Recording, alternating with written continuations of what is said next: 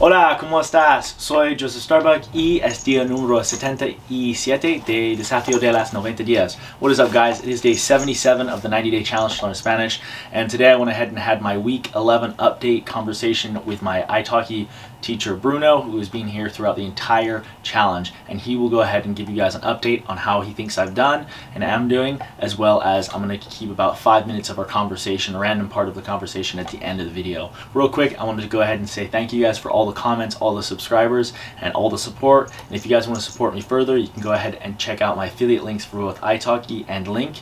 italki, you can go ahead and talk to some native speakers, and of course LingQ is the website that Steve Kaufmann, the polyglot, created, and I use every single day to study. I am now studying for a total of three hours per day, one hour of bilateral translating, which is the um, it is the system that Luca, the polyglot, uses, as well as one hour of reading and one hour of talking with an italki teacher. So that is what I'll be doing for the rest of this challenge. I have 13 more days to go, so it's crazy close, and I've made so much progress. I still feel like I have so much more to make, and in 90 days, do I think I'm going to be able to speak fluently? Of course not. Fluency is just such a massive, massive goal, and it's part of so many different moving parts. The conjugation of Spanish is immense. Everything changes in the past, present, and different tenses, as well as whether the word is male or feminine.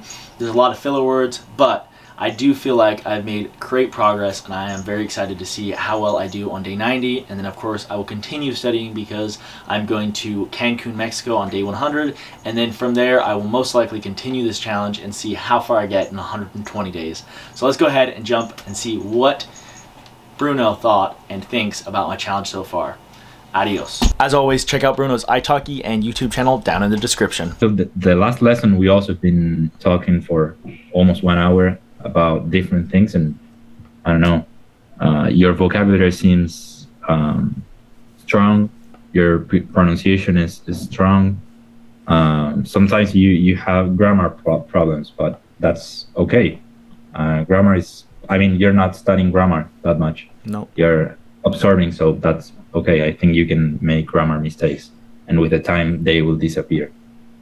Uh, but well, I think, I, I mean, if you if you think about it like with, I don't know, if you think about yourself with that perfectionism and you, you want to to speak perfectly uh, after 90 days mm. well i think that's not going to be possible because we have less than 15 days remain. Right. But I think the um, the result is already impressive. Um, I mean, you started in zero, right? See, yeah. 80 days ago, you were like a total beginner. Total beginner, couldn't say I, anything. And now you can survive. Yeah. If I drop in any Latin American country or Spain, uh, you will survive. Yeah so yeah i think i think um i well i just want to see the video that you that you will do and see all the progress like in one shot or in yeah. one video. But i think it's already amazing so. Heck yeah.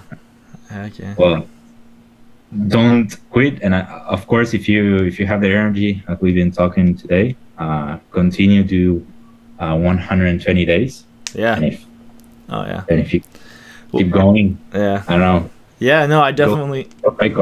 yeah, I definitely have to do 100 days for sure because I'm going to Cancun, Mexico, and I'm going to try and talk to to native speakers and just see if I can get along with them like on the street or something like that. You know, maybe go to a store or go get a haircut or something like that. Yeah, yeah, you have to do that because you you will have to avoid tourists in Cancun. Yeah. So you have to go to the local areas or shops or stores, whatever. Exactly. So.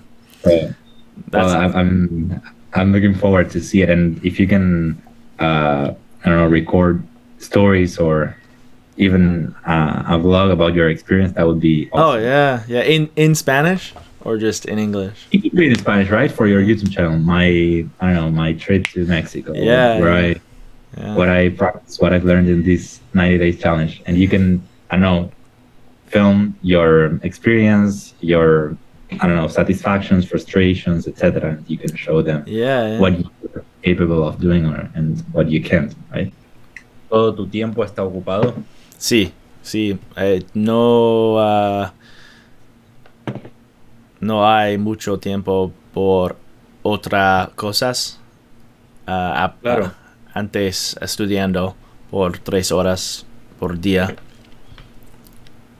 Es como todo tu tiempo libre es para estudiar. Ah, ¿Uno más? No comprende. Todo tu tiempo libre es para estudiar. No, no, estudiar, ah, estudiando por una hora leyendo, leyendo um, y una hora bilateral translation. ¿Cómo se dice bilateral? Or just translating. Transeja. Traducción. Traducción bidireccional. Tran, tra- Traducción traducción bidireccional. bidireccional. Sí, en una hora ah, hablar o hablando con eh, profesor de Italki. Bien. Bueno, eh, son tres horas, pero bueno, puedes hacerlo, ¿no? No es aburrido. ¿No es aburrido? Claro, no, son tres horas, pero no es aburrido, ¿no? Ah, no, no. um, nunca.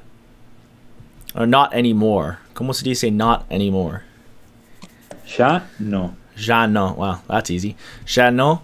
Um, a la. uh, comienzo la desafío. Una, una hora. uh, uh, eres un poco.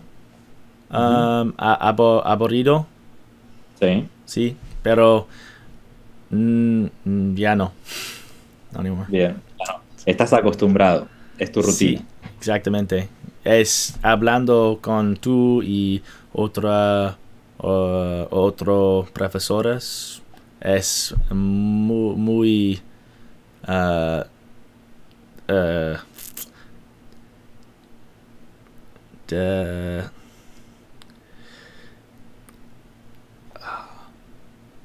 I'm trying to ¿Qué say palabra? fun, fun, fun. Des. I want to say desafio, but it's not. It's it's Well, desportes or no Y. Di.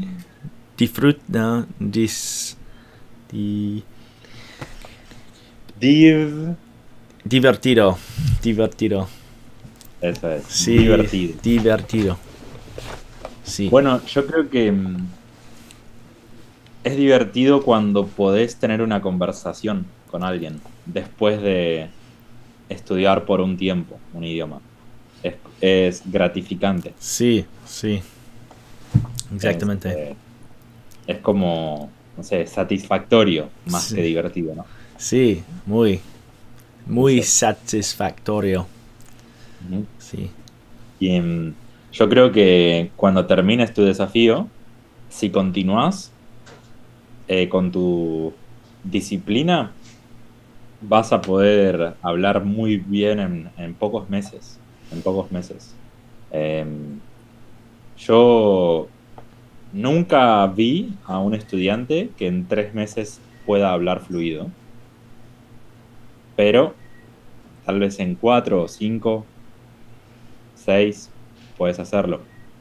Y después del desafío, creo que no es necesario tres horas todos los días. sí Puedes hacer una hora o dos, sí o una hora y media, 30 minutos. E- Eso es mucho si lo haces Sí. todos los días.